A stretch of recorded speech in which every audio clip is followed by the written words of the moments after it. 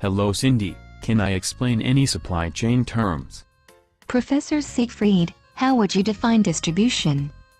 Well Cindy, distribution refers to the process of moving materials or products from one supply chain participant to another. Supply chain management involves aligning the supply chain participants so that decisions are made which optimize performance of the supply chain as a whole, for example minimizing system-wide inventory. Thanks Professor, for defining distribution.